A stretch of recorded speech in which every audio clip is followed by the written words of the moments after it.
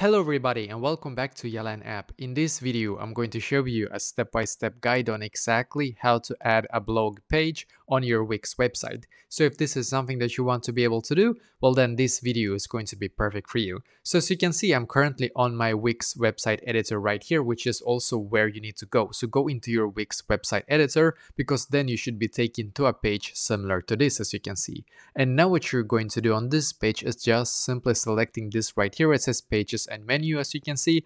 And then what you're going to do, you're going to click where it says add menu item in here. So click right here and then just simply click on new page.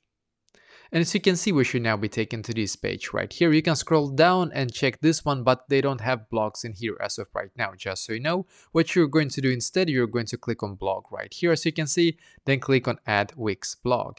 So it's just going to load, as you can see, it says adding Wix blog.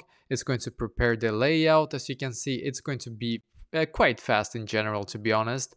And it's just going to load here for me as you can see. And now as you can see I'm able to actually view my uh, blog right here as you can see. It has actually been added to this section right here as you can see.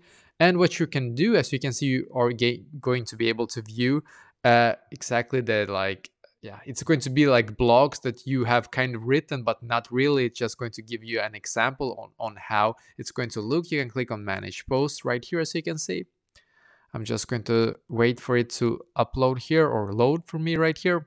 And as you can see, you can now start creating new posts on your blog. And when you do create a new post and you save it, well, then that post is going to show up, of course, right there that you want it to show up on your website. And that is basically exactly how to do this.